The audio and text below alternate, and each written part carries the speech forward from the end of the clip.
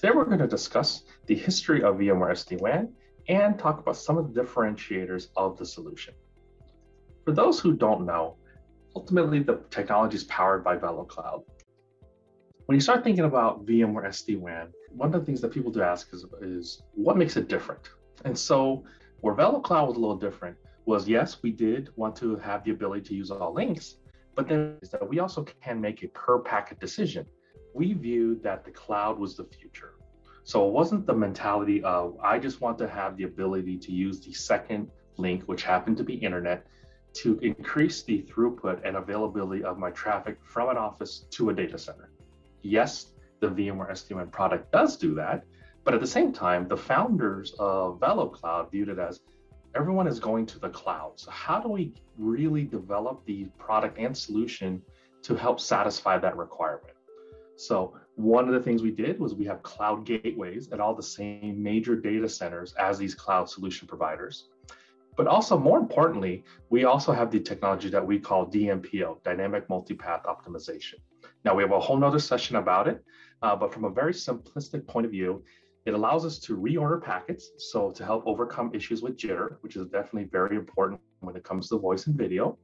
And two, when we see packet loss, we send duplicate packets. So therefore, it allows us to really clean up the link.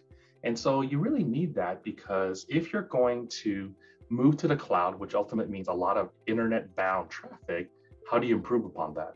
So when the customers send the traffic from their location to the cloud SaaS provider, we happen to have a cloud gateway there.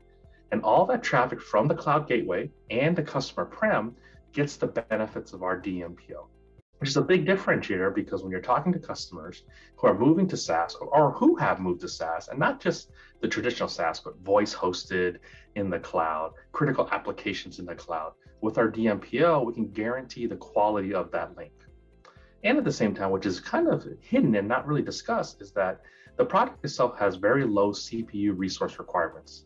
And that has added to our ability to quickly develop as well as scale so we can support VNFs. And also now we're actually looking at can we containerize the solution? So you can run multiple different solutions and products on the same hardware device.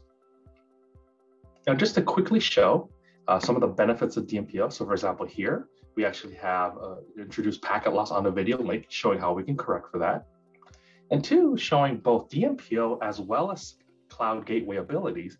Here's an example where we are sending traffic from a location through two internet links to a SaaS provider, and in this case, Box.com. So we introduced 2% packet loss.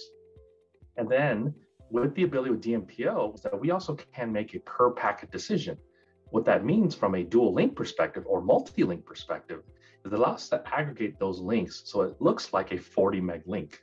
So with all of those benefits, that's why you see that even on a pristine link, which you see in the upper row, with no packet loss, we still show you improvement over file transfer because we can bond both links.